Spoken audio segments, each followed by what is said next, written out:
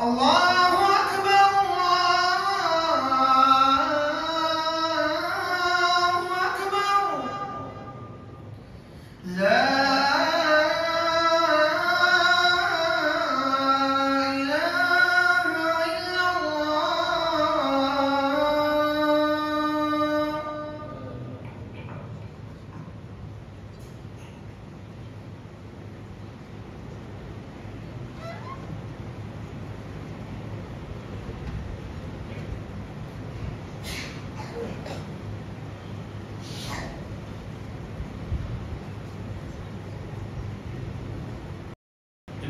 لله.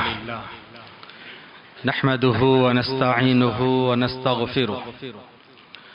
ونعوذ بالله من شرور أنفسنا ومن سيئات أعمالنا.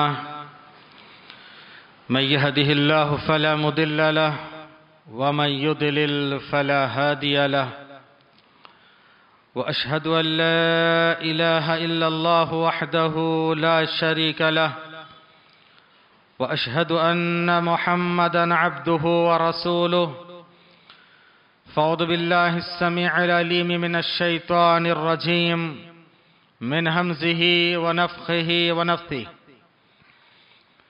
يا أيها الذين آمنوا اتقوا الله حق تقاته ولا تموتن إلا وأنتم مسلمون. يا أيها الناس اتقوا ربكم الذي خلقكم من نفس واحدة وخلق منها زوجها وبث منهما رجالا كثيرا ونساء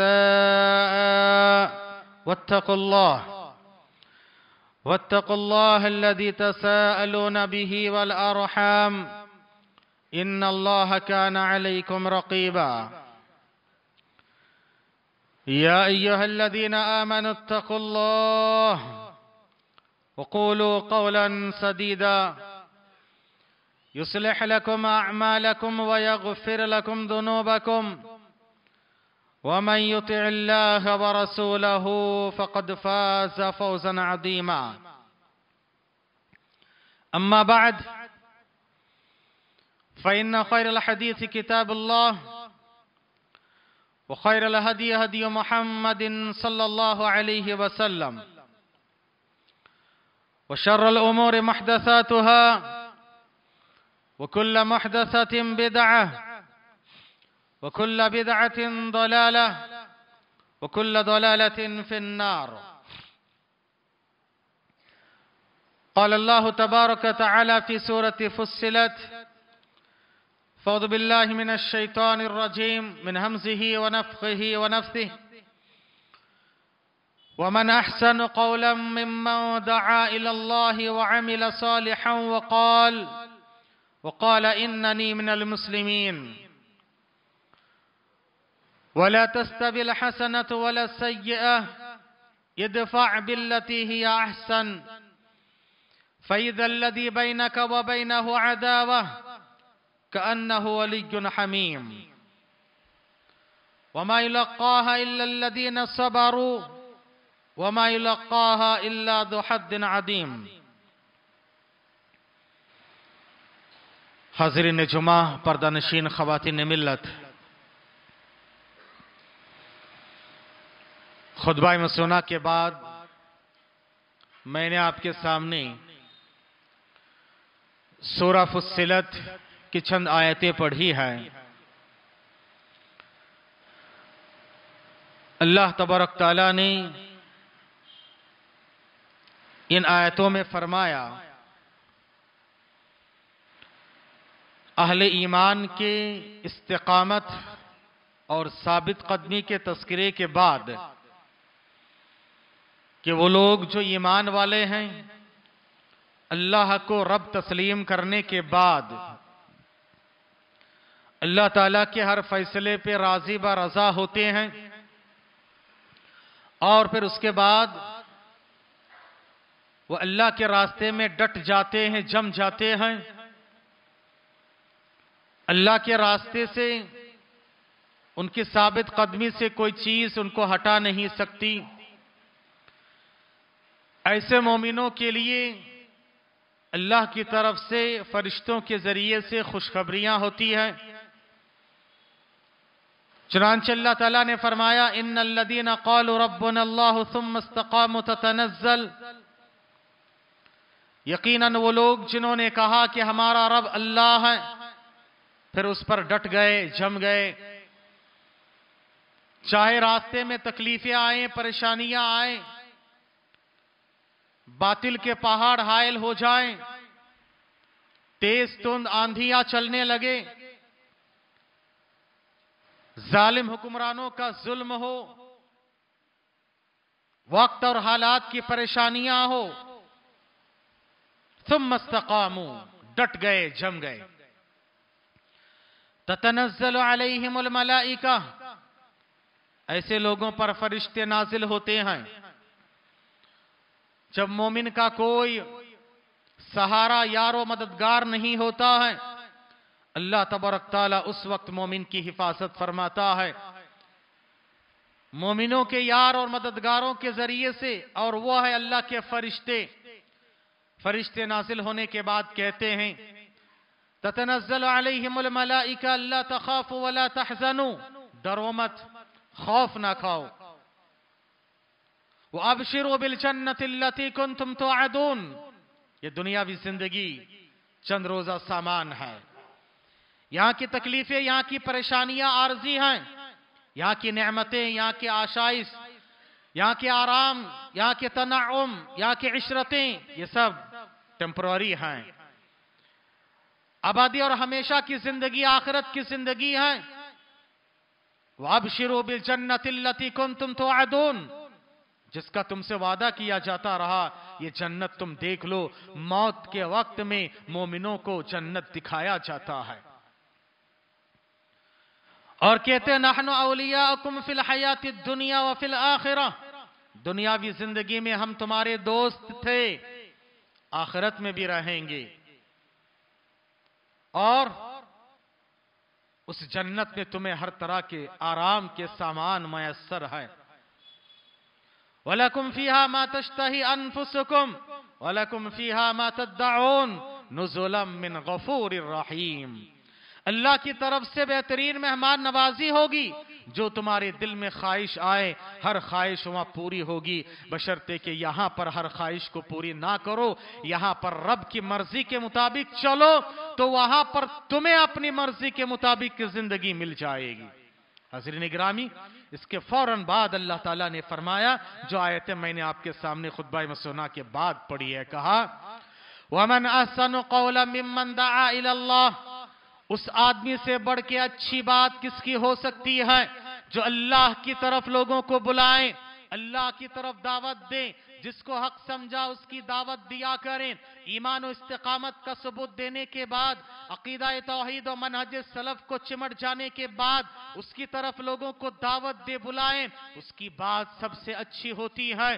وَمَنْ أَحْسَنُ قَوْلًا مِّمَّنْ دَعَا إِلَى اللَّهِ وَعَمِلَ صَالِحًا صرف زبان کا نہیں، صرف گفتار کا نہیں، بلکہ وہ کردار کا بھی ہوتا ہے، عمل کا بھی ہوتا ہے۔ وہ خود کہتا ہے، دیکھو مسلمان کو دیکھنا چاہتے ہو وَعَمِلَ صَالِحًا وہ خود نیک عمل کرتا ہے اور دنیا والوں سے کہتا ہے، مثالی مسلمان یہ ہوتا ہے، کردار کا مسلمان یہ ہوتا ہے۔ کردار کا مسلمان، مثالی مسلمان کو دیکھنا چاہتے ہو، مجھے دیکھو، اننی من المسلمین۔ اور آگے فرمایا، وَلَا تَسْتَوِي الْحَسَنَةُ وَلَا السَّيِّئَةُ، ادفع بالتي هي احسن فاذا الذي بينك وبينه عداوه كانه ولي حميم، یاد رکھو، نیکی اور بدی دونوں برابر نہیں ہو سکتے ہیں اچھا سلوک، برا سلوک دونوں برابر نہیں ہو سکتے ہیں، اچھائی اور برائی دونوں ایکوئل نہیں ہو سکتے ہیں تم اچھے انداز میں ڈیفنس کیا کرو، اچھے انداز میں جواب دیا کرو۔ جیسے کہ تیسے والا معاملہ ہر جگہ نہیں چلتا ہے۔ اگر کتا ہمیں کاٹے تو ہم اس کو بھگا بھگا کر نہیں کاٹیں گے۔ جاہل اگر جہالت کا ثبوت دے، ہم اس کے ساتھ جہالت پہ اتر نہیں آئیں گے۔ یاد رکھو، اسلام کا یہ ضابطہ ہے۔ ادفع باللتی ہی احسن۔ بھلے طریقے سے دفاع کیا کرو۔ ڈیفنس تمہیں کرنا ہے۔ دفاع تمہیں کرنا ہے۔ بھلے طریقے سے کیا کیا کرو؟ ہاں جو سر جو غلطی کیا، سزا اس کو دینے کا حق تمہیں نہیں ہے، بلکہ حاکموں کا کام ہے، حکومت وقت کا کام ہوتا ہے، تمہارا کام قانونی چارہ جوئی کرنا ہے، قانون کو ہاتھ میں لینا نہیں ہوتا ہے۔ یاد رکھو ادفع باللتی یا احسن، بھلے طریقے سے کیا کرو۔ تو کیا ہوگا؟ لوگ دشمنیوں کو ہوا دینا چاہ رہے ہیں۔ عداوتوں کو، نفرتوں کو ہوا دینا چاہتے ہیں۔ اللہ اکبر آج ہر چیز میں دیکھو، نفرتیں نفرتیں نفرتیں۔ ہر خبر میں دنیا والوں کو نفرت کا پیغام دیا جا رہا ہے۔ ہر میڈیا نفرتوں کو اچھال رہا ہے۔ ہر آئے دن کے اخبار ہمیں اور آپ کو سب کو نفرتوں پر، عداوتوں پر ابھارا جا رہا ہے۔ انسانیت ناپید ہے۔ ہیومینٹی ختم ہوتی جا رہی ہے۔ کہاں انسانیت پکار پکار کر کہہ رہی ہے کہ جانوروں کی جتنی قدر و قیمت ہے، آج انسان کی اتنی قدر و قیمت نہیں ہے۔ ہاں یہ نفرت کا ماحول ختم کرنا ہے تو کیا کرنا ہے؟ ایسے نفرت کا ماحول ہے، شاعر کی زبانی، میرا جینا، یہ میرا میرا جینا، میری زندگانی ایسے شہر نفرت میں ہے جہاں پر لوگ سجدوں میں بھی ہماری برائیوں کی دعا مانگتے ہیں۔ یاد رکھو میرے بھائیوں، سجدے میں جا کر اپنے خیر سے زیادہ دوسروں کی برائی مانگتے رہتے ہیں۔ یاد رکھو، آج عبادت گاہوں میں، آج مذہبی اعتبار سے لوگوں کو برباد کرنے کی کوشش کوششیں ہو رہی ہے مذہب کے نام پہ سیاست کیا جا رہا ہے۔ مذہب کے نام پہ نفرتوں کو ہوا دیا جا رہا ہے۔ مذہب کے نام پہ حسد کو بڑھایا جا رہا ہے۔ مذہب کے نام پہ اس کے آڑ پہ اور کچھ کیا جا رہا ہے۔ انسانیت کو داغدار کیا جا رہا ہے اور ملک کو شرمسار کیا جا رہا ہے۔ یاد رکھو میرے بھائیوں ایسے چند مٹھی بھر لوگوں کے ناکام کوششوں کو اگر آپ اور ہم ناکام کرنا چاہتے ہیں۔ آگے اللہ تعالیٰ نے فارمولا بتایا، فرمایا،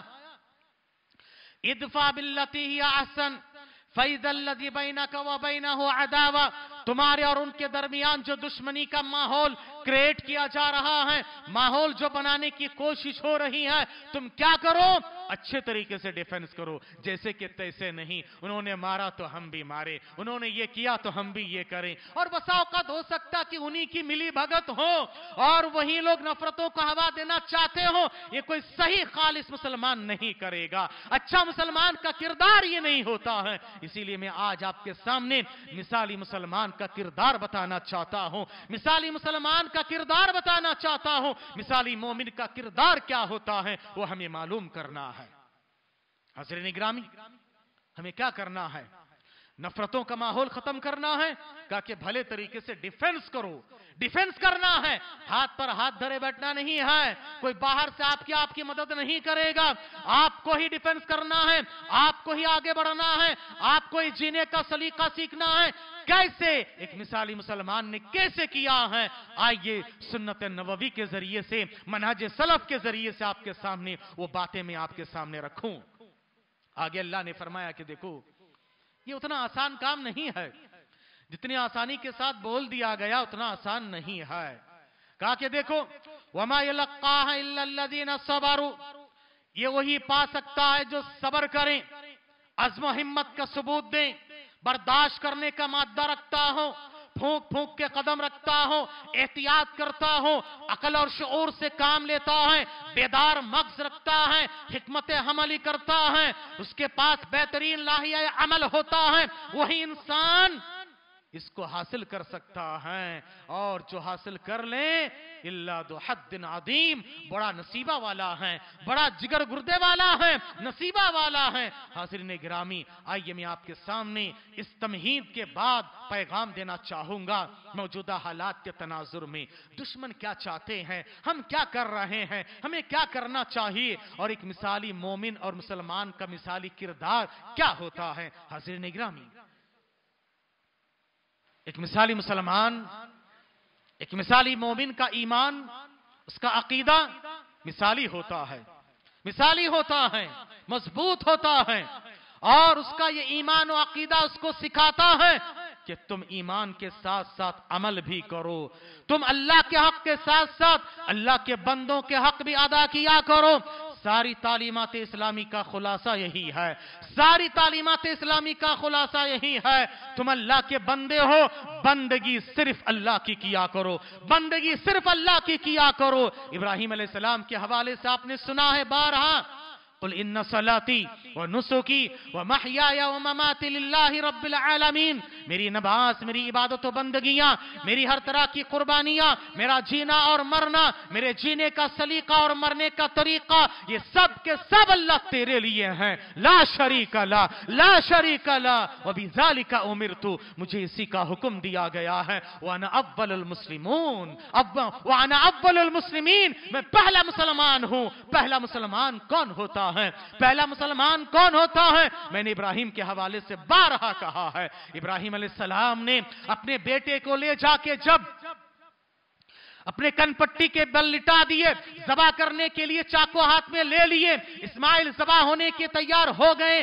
ماں نے زبا کرنے کے لیے حوالہ کر دیا۔ اس وقت اللہ تعالیٰ نے فرمایا، فلما اسلم وطلہ للجبین فلما اسلما مسلمان اب ہوئے ہیں۔ اللہ اکبر، یہ مسلمان تب ہوتا ہے، مسلمان تب ہوتا ہے، مسلمان کا کردار ہی ہوتا میرے بھائیوں ہمیں اور آپ کو چاہیے کہ مثالی مسلمان کا کردار ادا کرنے کے لیے پہلے اپنے ایمان و عقیدہ مضبوط کیا کرے کیونکہ جب ہمارا ایمان مضبوط ہوگا عقیدہ مضبوط ہوگا۔ تو ایمان میں امید ہے، امن ہے، سکون ہے، اور اس میں چین ہے۔ ہم سوچیں گے ہمارا ایک رب ہے جو ہمیں بے یار و مددگار نہیں چھوڑے گا۔ ہم نے اس پر ایمان لایا ہے، ہم نے ان کا حق ادا کیا ہے، اور ہم نے ان کے ساتھ کسی کو شرک نہیں کیا، شریک نہیں ٹھہرایا۔ اگر یہ عزم و ہمت ہو، اگر یہ آپ کہہ سکتے ہو، اننی من المسلمین، مسلمان کو دیکھنا چاہتے ہو، مجھے دیکھو، میں شرک نہیں کیا، میری ساری عبادت و بندگیاں میں نے اللہ اللہ کے لیے کی۔ میں نے اللہ کی عبادت میں کوتاہیاں نہیں کی ہیں۔ اگر یہ عزم حوصلہ ہو، یہ ہمت ہو، تو آپ اللہ سے امید رکھو گے اور اللہ تعالیٰ آپ کو بے یار و مددگار نہیں چھوڑے گا۔ اور ہمارے اخلاق و کردار اس سے اچھے ہو جائیں گے۔ اچھے ہو جائیں گے کیونکہ ہم جب سوچتے ہیں، ہم ایمان رکھتے ہمارا رب اور رب رحمان و رحیم ہے۔ ہم بھی لوگوں کے ساتھ رحمان و رحیم والا معاملہ کریں گے۔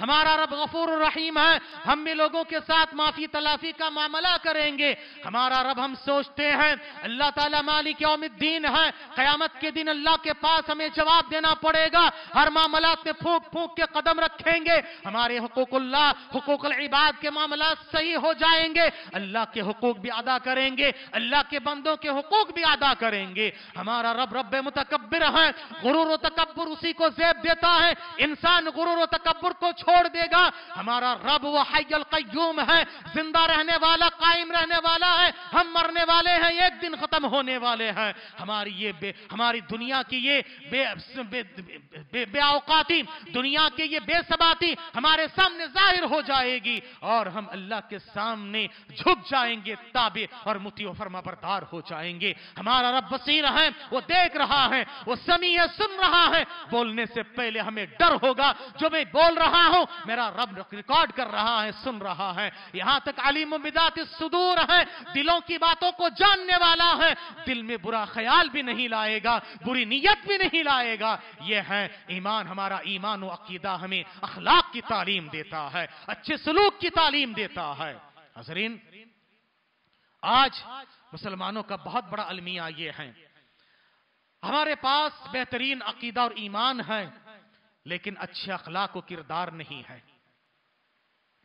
اور آپ اگر دیکھیں، ہر نبی نے دونوں کو زبردست مضبوط اور بنیادی ہتھیار کے طور پر استعمال کیا ہے۔ آج ہمارے پاس ایمان عقیدہ ہے اسلام ہے، لیکن ہم اسلام کے بغیر مسلمان ہے ایک بہت بڑے معرخ ساری دنیا کا سروے کیا۔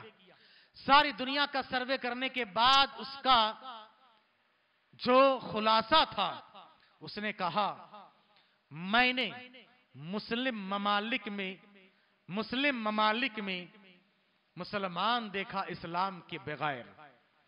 اور غیر مسلم ممالک میں، غیر مسلم ممالک میں میں نے اسلام دیکھا ہے مسلمان کے بغیر۔ یعنی میں نے ویسٹرن کنٹریز کو دیکھا ہے، وہ مسلمان نہیں، لیکن اسلام کی تعلیمات پر عمل کرتے ہیں۔ ہاں گرچہ ان کے پاس عقیدہ نہیں، لیکن اعمال میں وہ اسلام کو، اسلام کی جو خوبیاں ہیں ان کے پاس پائی جاتی ہیں۔ وہ اسلام کو سوچ کر نہیں، لیکن اسلام کی خوبیاں ان کے پاس پائی جاتی ہیں۔ اور مسلمانوں کو ہم نے دیکھا اسلام کے بغیر ہاں۔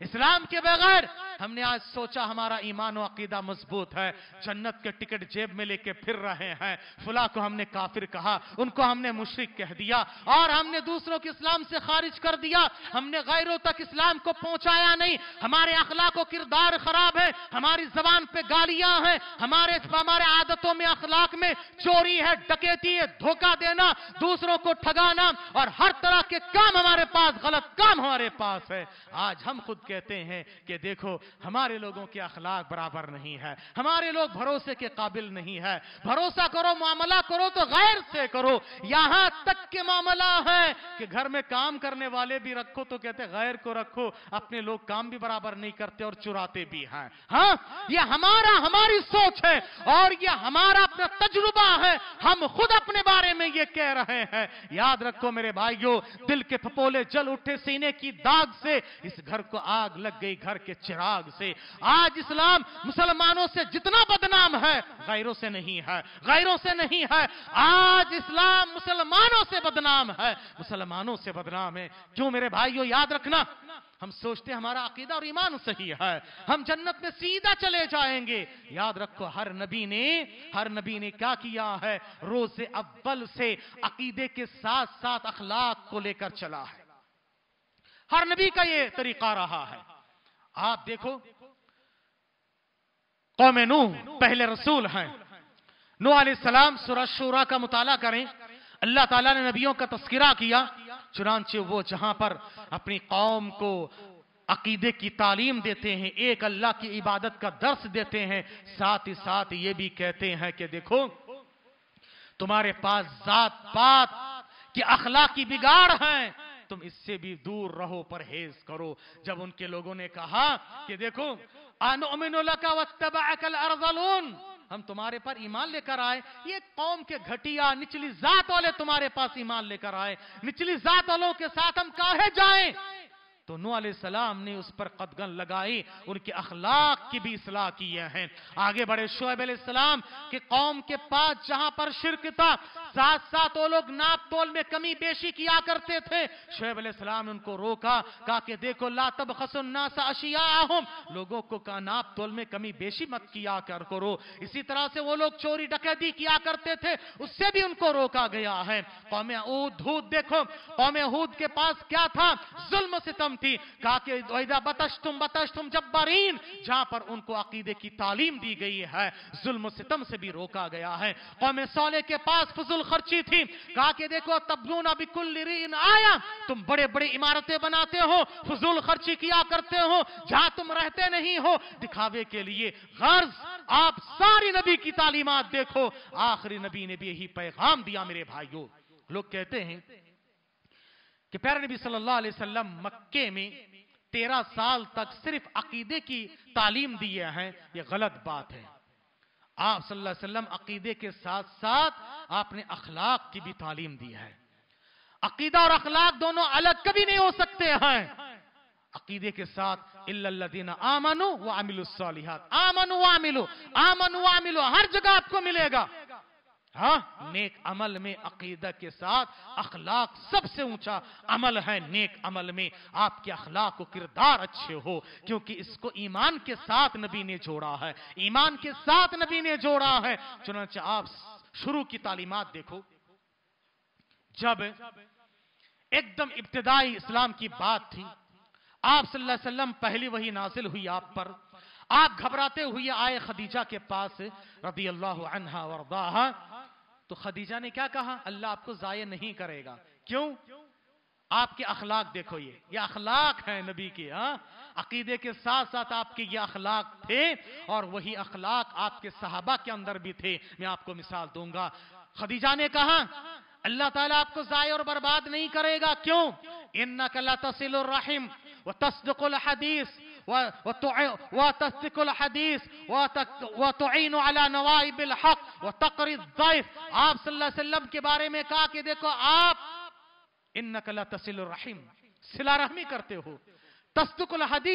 صحیح بات کہتے ہو، صحیح بات کیا کرتے ہو۔ اور اسی طرح سے آپ تقسیب المعدوم جو لوگ کما نہیں سکتے ہیں، آپ کیا کرتے ہو؟ ان کو کما کر آپ دیتے ہو۔ وہ تحمل الکل، آپ دوسروں کے بوجھ اٹھایا کرتے ہو۔ تقریب ضعف آپ مہمان نوازی کیا کرتے ہو۔ وہ تعین علی نوائب الحق، اور حق کا ساتھ دیتے ہو۔ حق کا ساتھ دیتے ہو۔ یاد رکھو میرے بھائیو، یہ سب اچھا اخلاق نہیں تو کیا ہے؟ کیا ہے؟ اب آئیے انہی اخلاق کی بنیاد پر غیر بھی ہماری حفاظت کریں گے۔ دشمنی کا ماحول ختم ہوگا۔ آئیے نبی کی سیرت اور صحابہ اکرام کی سیرت سے لے لیجیے۔ جب مکے میں مسلمانوں کا سماجی بائیکاٹ ہوا، تین سال تک سماجی بائیکاٹ ہوا، مسلمانوں نے اتنے پتے چبائے۔ آپ جانتے واقعات کہ وہ جانوروں کی طرح ان کے فضلات ہوا کرتے تھے۔ اس تکلیف کو دیکھ کر ابن الدغنہ متعم بن عدی متعم بن عدی، ایک کافر سردار کے دل میں خیال آیا، مسلمان تو ہے ٹھیک ہے، لیکن انسان تو ہے یہ لوگ۔ اتنا ظلم ان کے ساتھ گوارا نہیں ہے۔ ہاں ایسے بہت سارے غیر اٹھیں گے اور سوچیں گے کہ بھائی اتنا ظلم ہو رہا ہے، یہ مناسب نہیں ہے۔ آواز اٹھائیں گے، یاد رکھو، بشرطے کہ ہم اپنے کردار کے ذریعے سے غلط قدم نہ اٹھائیں۔ ہاں صبر کرو، اللہ تبارک تعالیٰ آپ کا ساتھ دے گا، غیروں کے ذریعے سے آپ کی مدد کروائے گا۔ متم بن عدی اٹھے، کہا کہ دیکھو، یہ بائیکاٹ نامہ پھاڑ دیتا ہوں اور چلو میں سب کو، تم سب کو میں پناہ دیتا ہوں۔ کون کیا کہنے والا دیکھتا ہوں؟ ان کی پناہ میں آکے ان کی یہ سماجی بائیکاٹ ختم ہوا۔ ایک کافر سردار کے ذریعے سے کیوں؟ ترس کھا کر، ان کے اخلاق و کردار سے متاثر ہو کر۔ ہاں؟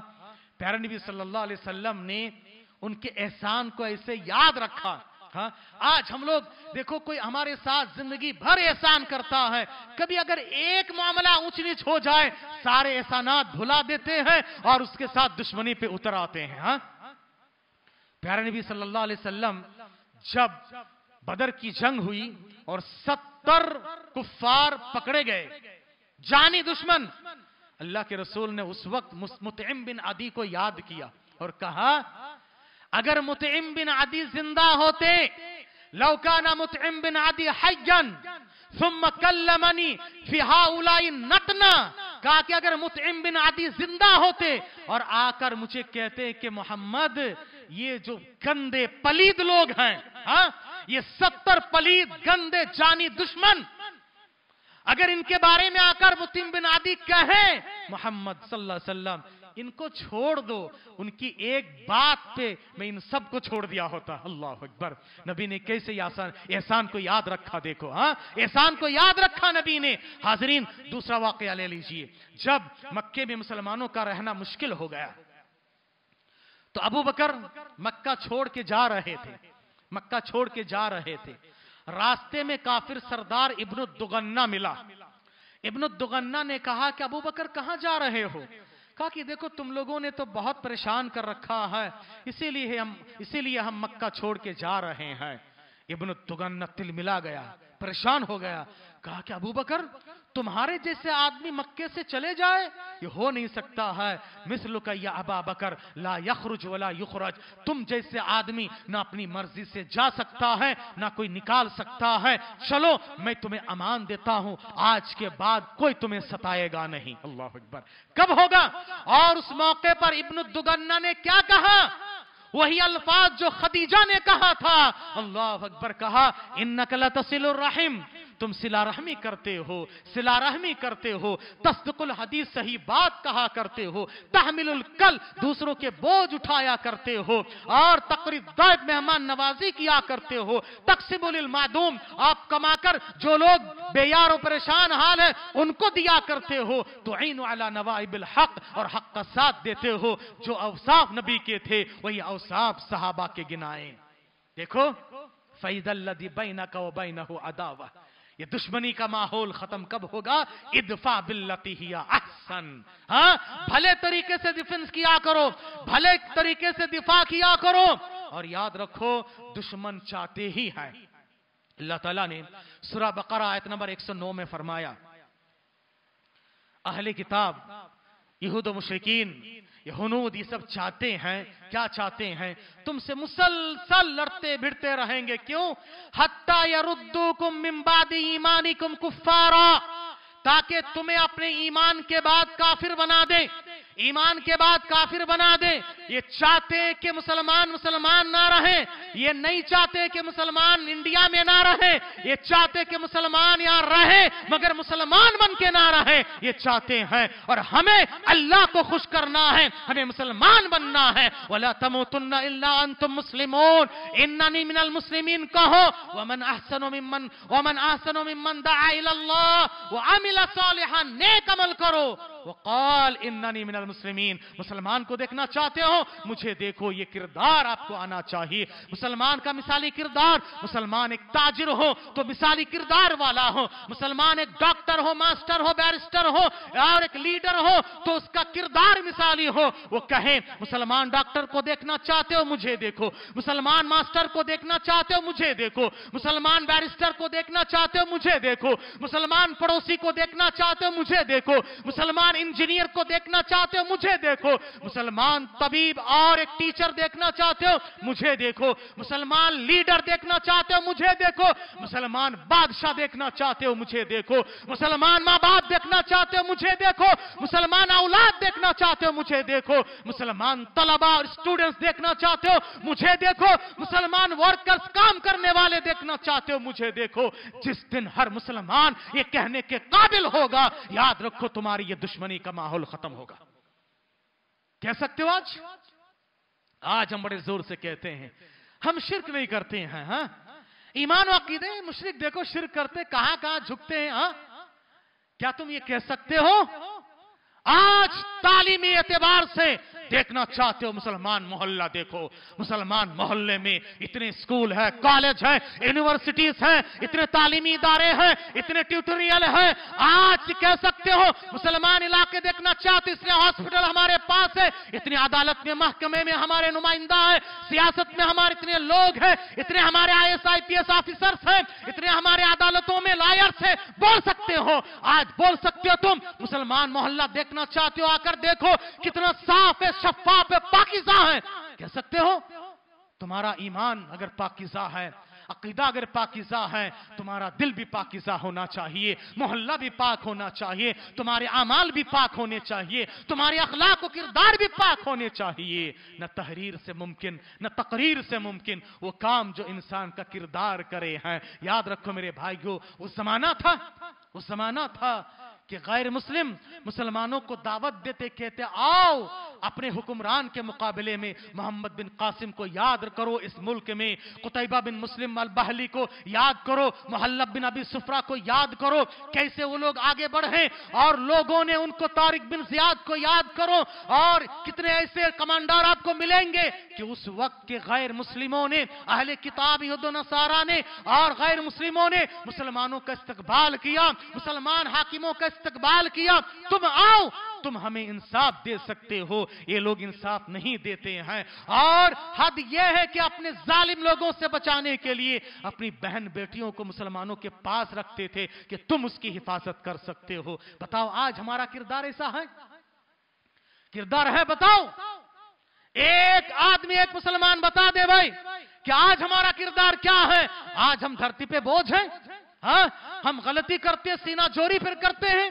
چوری پھر سینہ زوری کرتے ہیں۔ یاد رکھو میرے بھائیو، اس طرح کے کردار کے ساتھ نہیں چلے گا۔ ہمیں چاہیے کہ کیا کرنا؟ اللہ تبرک تعالیٰ نے اس آیت سورہ بقرہ آیت نمبر 109 میں فرمایا کہ دیکھو، یہ چاہتے ہیں کہ تمہیں دین سے برگشتہ کریں اور تمہیں تمہارے سینٹیمنٹ سے کھیلیں۔ تم کیا کرو؟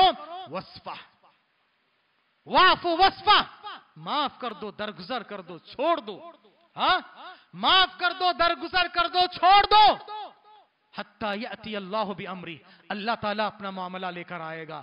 اللہ ان کو عذاب دے گا، اللہ سزا دے گا، اللہ تبرک تعالیٰ معاملہ کرے گا۔ نبی کے گستاخوں کو اللہ دنیا میں سزا دے گا ہے۔ اِنَّا کَفَيْنَا کَالْمُسْتَعْزِئِينَ اللہ نے کہا کہ میں کافی ہوں آئی نبی، آپ کے انسل کرنے والوں سے۔